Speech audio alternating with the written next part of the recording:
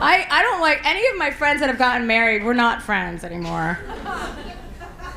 Because they make me be in their wedding and you spend like $3,000 to fly across the country, you know, throw them a bridal shower, get the dress, uh, blah, blah, blah, everything. You know, what do we get out of nothing? A piece of chicken, you know, and a roll.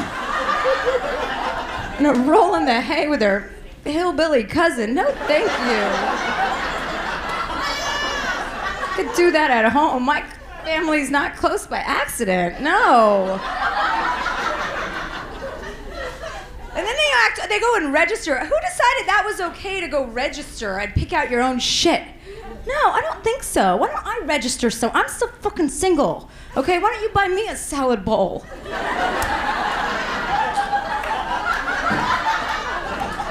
they go register at Williams Sonoma or Pottery Schmuck and you gotta go type shit in. It's like, and then they act all surprised, like, oh my god, thank you so much for your thoughtful gift. It's like, you picked it out, bitch! What?